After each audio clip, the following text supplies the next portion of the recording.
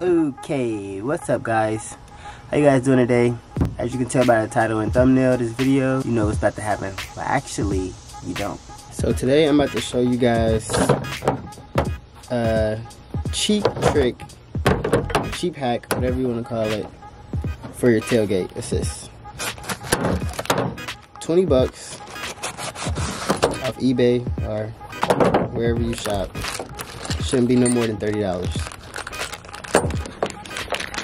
Got this here, package all your tools, and this is your shock spring, whatever it's called. All right, let's get right into it. I'm gonna take you to step one. This thing's heavy. All right, so we're gonna start with this uh, Nutsert tool. Mine's just like a gold looking color. We're gonna put it in this hole, this first hole right here. Now, I'm gonna use a mallet, a rubber mallet to kind of like jam that in there. Cause this, you don't want this to come out. All right, so I got it in there. It's kind of loose, so I don't know if this is right. So I ended up putting Loctite on the the bolt here. Then put this um the bolt on it. Supposed to let it sit for an hour. I had it sitting out in the sun probably about 15 minutes, so we'll see if that works. I'm gonna put this in here again now. And we're gonna try to jam that nut in there. Huh? So we got the blind nut tool. That's what it's called, I guess. We got that in there secure. Now we are going to insert the ball mount in here. I'm gonna put Loctite on here as well.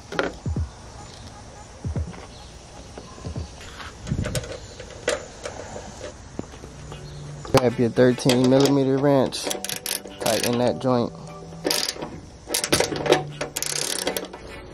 I said that's about right. All right, now we're gonna work on the second bolt up here. Gonna take this off.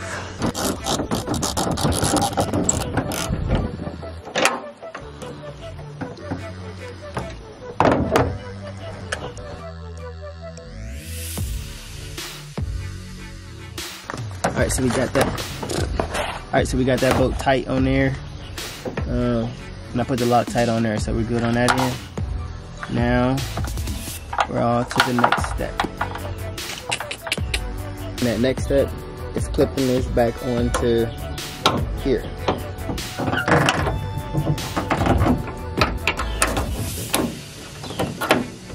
Alright, there we go. Got that clipped on there. Now it is telling us to remove this end of the cable. So we'll do that next. Alright, so we took the limiter off this piece right here. This was connected to here and then we reinstalled it.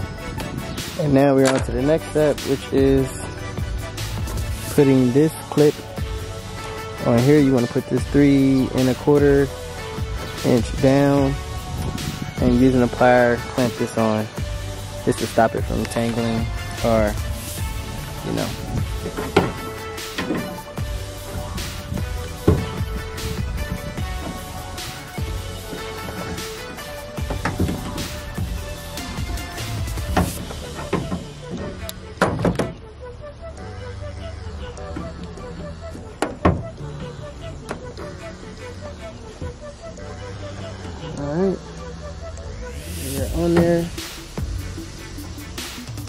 think we're good. Now, we're gonna install the shock. So yeah, you wanna put the big end, which is this end here. This is the narrow end, this is the big end. You wanna put the big end at the top. You wanna put the big end on the ball mount.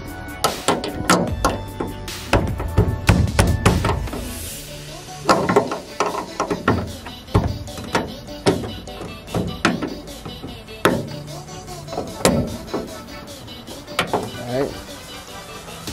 Then we want to push this joint. Uh, don't know how we're gonna do that. Probably gonna have to close the gate a little bit. Don't know if I'm gonna get it. You get the point.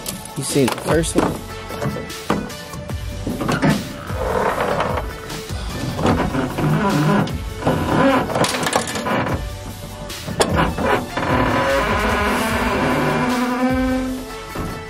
Should be all good.